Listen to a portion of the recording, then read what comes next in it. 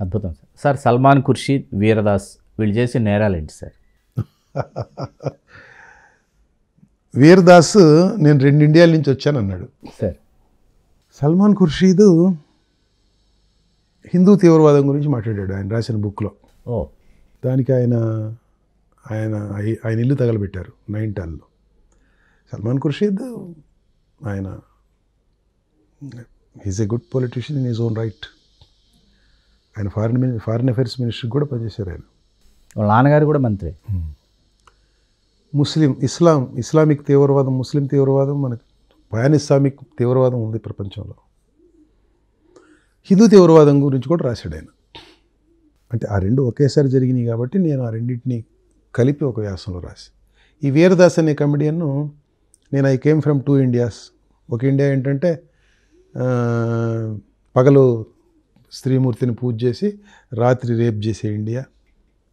పగలు రైతుల్ని పొగిడి వాళ్ళని వాళ్ళు వాళ్ళకి పండించిన ఆనందిని వాళ్ళని వాళ్ళని రోడ్డు కాలు కింద తొక్కిచ్చే ఇండియా. ఇట్లా రెండు ఇండియాల నుంచి వచ్చానని చెప్పి ఆయన ఒక వీడియో చేశాడు. సో దానికి there was a huge backlash. ఏమంటారు వాళ్ళని? రైటిస్ట్ రైటిస్ట్ ఫోర్సెస్ చాలా తీవ్రంగా ఇరుచుకుపడ్డారు ఆయన మీద. సల్మాన్ ఖుర్షీద్ మీద కూడా విరుచుకుపడ్డారు ఇది ఇంతకు మునుపు కూడా నిజానికి ఈ ప్రశ్న చాలా మతానికి ఏమంటారు దాన్ని తీవ్రవాదానికి ఉగ్రవాదానికి మతం ఉంటుందా అని ప్రశ్నిస్తారు. సల్మాన్ ఖుర్షీద్ దగ్గర కూడా అదే ప్రశ్న ఎదురైంది. ఇది చాలా డిసెప్టివ్ క్వశ్చన్ ఇది. ఎందుకు ఉండదు అంటే బేసిక్గా ఉగ్రవాది అనేవాడు ఉగ్రవాది అనేవాడు బీభత్సకారుడు అనేవాడు ప్రజల్లో బీభత్సం భయానకమైన వాతావరణాన్ని కల్పించి తన తన గోల్ సాధించుకునేందుకు ప్రయత్నించి రక్తపాతం సృష్టించే మనిషి. అది ఎవరైనా ఆ దారి పట్టచ్చు. అన్యాయం నా నాకు అన్యాయం జరుగుతుంది నా వర్గానికి అన్యాయం జరుగుతుంది లేకపోతే నా మతానికి అన్యాయం జరుగుతుంది అని అనుకున్న వాళ్ళు ఒక గ్రూప్ ఆఫ్ పీపుల్ ఆ దారి పట్టచ్చు. భారతదేశంలో హిందువుల దారి ఎందుకు హిందువుల దారి పట్టడానికి వీల్లేదు లెక్క ప్రకారం. ఎందుకు వీల్లేదంటే మెజారిటీ కాబట్టి. ఎక్కడైనా సరే మైనారిటీ వాళ్ళకి వాళ్ళ మీద వాళ్ళ మీద వాళ్ళ హక్కుల మీద లేకపోతే దాడులు ఉంటాయి. వాళ్ళు వాళ్ళు ఈ ఉగ్రవాదం దారి పడతారు. ఇటు మెజారిటీ వాదులు ఉగ్రవాదం దారి పెట్టినా అటు మైనారిటీ వాళ్ళు ఉగ్రవాదం దారి పెట్టినా ఎవరు దారి పెట్టినా అది అత్యంత ఘోరమైన దారి అది. తప్పు దారి. దాంట్లో మరొక మాట ఉండదు కదా. కథు అనే చోట ఒక అమ్మాయిని ఒక ముస్లిం గర్ల్ చిన్న పాపని చంపేశారు. గుళ్ళో ఒక చిన్న గుళ్ళో రేప్ చేసి చాలా రోజుల పాటు రేప్ చేసి చంపేశారు. అక్కడ ఈ ప్రశ్న వచ్చింది. అది కూడా నా బుక్లో నేను డిస్కస్ చేసి టెర్రరిజానికి మతం ఉంటుందా? ఎందుకు ఉండదు? మతం ఎందుకు ఉండదు? డెఫినెట్గా ఉంటుంది. మతం ఉండకపోవటం ఏంటి?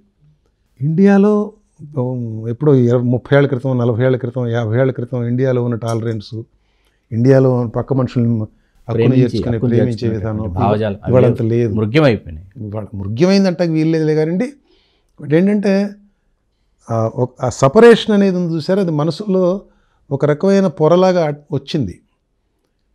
అరే ఎందుకు ఇట్లా జరగకూడదు కదా అని ఫీల్ అయ్యే వాళ్ళు కూడా ఆ మాట అంటానికి దడుస్తున్నారు. ఎందుకు వచ్చింది నన్ను మార్క్ చేస్తారు? ఎందుకు నేను నమ్మ నిజానికి అన్- అందరూ చెడ్డోళ్ళు కారండి. చెడ్డవాళ్ళు అంటే బేసిక్గా మంచి చెడు అనేది అసలు సబ్జెక్టివ్. కానీ ఈ విధంగా సమాజానికి సంబంధించిన స్థూలమైన విషయాల్లో చెడ్డతనం అనేది చాలా తక్కువ మందిలో ఉంటుంది ఇప్పుడు ఎక్కువ మంది మంచివాళ్ళే. ఆ కొద్ది మంది ఆ చెడ్డవాళ్ళు ఎవరైతే ఉన్నారో వాళ్ళు కర్ర కత్తి తీసుకుంటారు. తీసుకొని ఆ దారి తప్పు బాబు అని చెప్పి వాళ్ళని పనిష్ చేయడానికి ప్రయత్నిస్తూ ఉంటారు.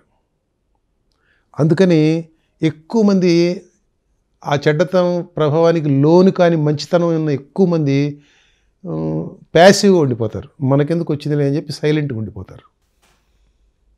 అట్లా సైలెంట్గా ఉండటం అనేది తప్పు. అట్లా సైలెంట్గా ఉన్నందువలన మే ఇప్పుడు ఎవరు ఎవరి గొంతు అయితే వినపడుతుందో వాళ్ళ గొంతు వినపడుతుంది కదా. రెండో గొంతు వినపడకపోతే అదే గొంతు చలామణి అయిపోద్ది.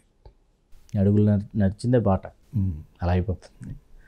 సార్ దీపికా పడుకొని ఆ మధ్య చపాక్ అని ఒక సినిమా చేసింది. తను వెళ్ళి ఆ బాధితులను కూడా అటువంటి బాధితులకి తన హోమ్కి వెళ్ళి సంఘీభావం ప్రకటించి కూడా వచ్చింది. దాని మీద కూడా నిరసన గళాలు వినిపించాయి. దాని గురించి కూడా మీరు రాశారు. ఆవిడ ఢిల్లీ జేఎన్యూకి వెళ్ళింది ఆవిడ. జేఎన్యూలో నిరసన తెలిపిన కారణంగా జేఎన్యూలో లాఠీ చార్జ్ జరిగింది. పోలీసులు వెళ్ళి కొట్టారు. ఈ మధ్య యూనివర్సిటీలో లాఠీ చార్జ్ జరగటం ఎక్కువైంది. యూనివర్సిటీలోకి వెళ్ళేందుకు గతంలో పోలీసులు సాహసించేవాళ్ళు కాదు వెళ్ళేవాళ్ళు కాదు బేసిక్గా. యూనివర్సిటీలోకి పోలీసులు రావడానికి వైస్ ఛాన్సలర్ ఒప్పుకునేవాళ్ళు కాదు ఒకప్పుడు వాతావరణం. నేను చదువుకున్న రోజుల వాతావరణం పోలీసు యూనివర్సిటీ యూనివర్సిటీ క్యాంపస్లోకి ప్రవేశించాలంటే సాధ్యంగా అయ్యేది కాదు. ఆవిడ? దీపికా పదుకోనే ఒక film star film actress celebrated film artist. ఆమె ఒక పని చేసింది అనుకోండి బయట ఈ ఫిల్మ్ ఆర్టిస్టులు మనకి మనకి మనకి అంటే మామూలు జనం లైఫ్లోకి వాళ్ళు రారు. మామూలు జనం లైఫ్లో వాళ్ళు ఎక్కడ ఉంటారంటే సినిమాల్లో మాత్రమే ఉంటారు. దీపికా పదుకొని చాలా అందమైన అమ్మాయి. మంచి మంచి నటి. పెద్ద పెద్ద సినిమా హీరోలతో కలిసి పెయిర్ అవుతుంది నటిస్తూ ఉంది. Celebrated artist. అంతే తెలుసు నా వరకు మీ వరకు అంతే కదా? అంతే.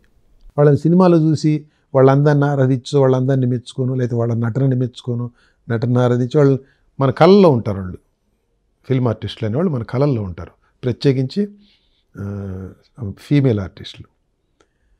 వాళ్ళు బయటకు వచ్చారనుకోండి వచ్చి ఎక్కడైనా ఏదైనా ఒక కాజ్తో ఐడెంటిఫై అనుకోండి that creates a huge impact.